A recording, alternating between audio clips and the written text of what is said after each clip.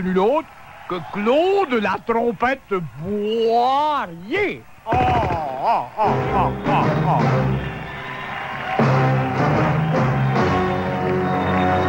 Claude, le grand amateur des Bruins de Boston, et lorsqu'on lui donne des billets, il n'y va pas.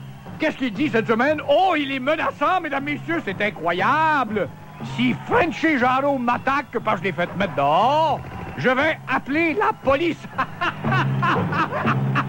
Quelle déclaration fracassante, mesdames, messieurs, dans le journal des vedettes plus cette semaine de Claude Boirier, un grand ami de tout le monde qui, en deux trompettes, trouve le temps de travailler jour et nuit.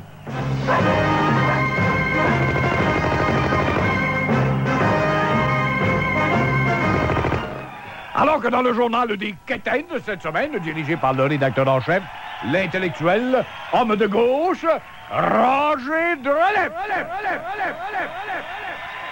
Roger a décidé d'apposer une manchette en faveur de son ami, c'est unique parce qu'il croit vraiment vendre plus de copies lorsqu'il met en manchette et en frontispice euh, son ami dans le journal des Quétaines, Claude Jasmin.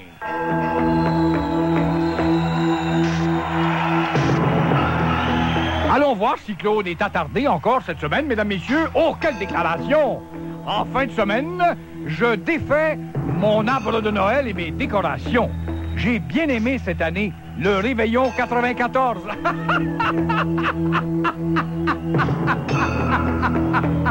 oh, ça après Claude, va.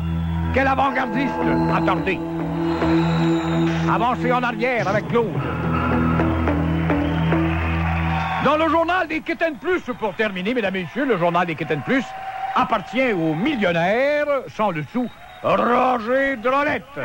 Roger a décidé de se donner une manchette, question qu'on parle de lui, étant donné que, à Radio Suppositoire, il n'a plus d'auditeurs.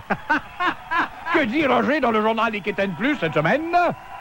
Oh là là là là là là, quelle déclaration, mesdames et messieurs. Dimanche, j'enfile ma robe écarlate pour me rendre au brunch d'hostie de la congrégation des sœurs réparatrices de Jésus Hostie.